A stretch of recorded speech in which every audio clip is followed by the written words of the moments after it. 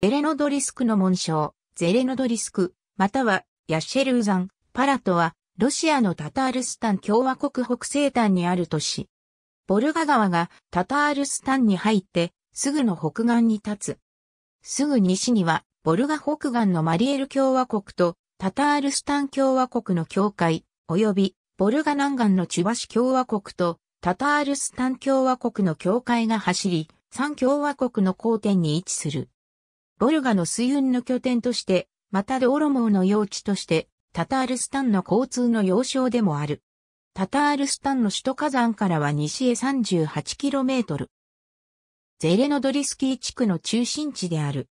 人口は2002年国勢調査で10万139人。最寄りの町は、すぐ西にあるマリエル共和国の町ボルジスクと、その南の対岸にある、チュバシ共和国の町コズロフカ。ライフスキー・ボゴロジツキー修道院のグルジアの生信女イコン聖堂ゼレノドリスクは、チェレミス人の村落パラトとして創建された。1865年、この村は、カワチシチーの名で記録に現れている。1895年には、ボルガ川沿いに大きな造船所が作られ、よく知られるようになった。1897年以降、パラツキーザトン、またはパラツクと呼ばれるようになった。1928年にはゼレヌイドルと改名されている。1932年に首となり、現在の地名になった。市街地から 21km 離れたところには、生新女修道院が建っている。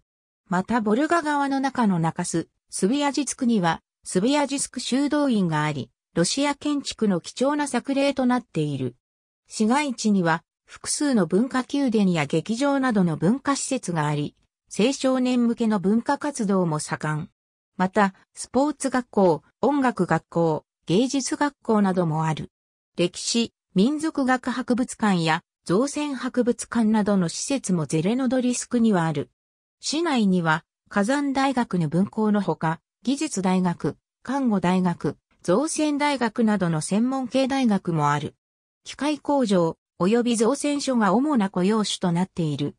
周囲の森林が町の経済を支えており、かつては造船もこの木材を使って行われた。主な産業は製材、家具製造、医療品などとなっている。ゼレノドリスク周辺は農業地帯となっているほか、都市から離れた療養施設も多い。虹にノブゴロドやチェボクサルからボルガ南岸を走ってきた M7 幹線道路がここでボルガ川を渡り、ゼレノドリスクに入り、火山方面へ向かう。ありがとうございます。